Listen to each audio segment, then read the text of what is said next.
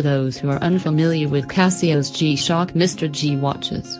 They are the no-holds-barred and no-expense-spared G-Shocks. Mr. G watches are a tech-loaded collection, produced in the premium materials like titanium and with a much higher level of finishing than you would normally see in a G. The new MRG G2000 CB1A is no different, featuring a black, 49.8mm, ion-coated titanium case and bracelet as well as a new Cobarion bezel. Cobarion is an in-house developed material from G-Shock which features extreme scratch and allergy resistance as well as a highly mirror polished finish.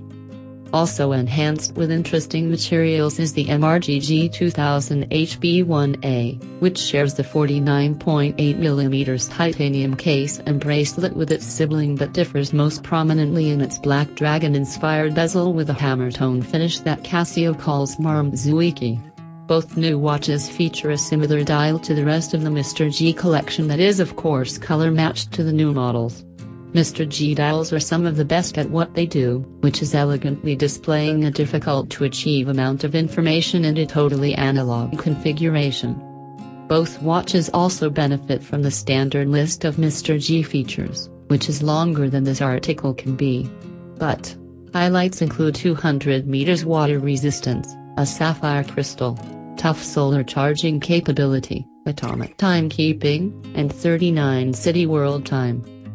While the idea of a luxury G-Shock feels oxymoronic to some people, one can hardly help but appreciate the notion of taking the G-Shock concept and absolutely going nuts with it.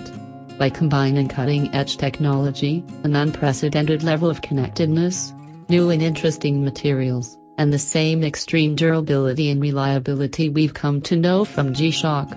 The MRG G2000 CB1A and MRG G2000 HB1A make a strong case for the premium G-Shock. While not for everyone, range-topping models like this demonstrate what Casio is capable of doing with a G-Shock concept when the gloves are off and money is no object.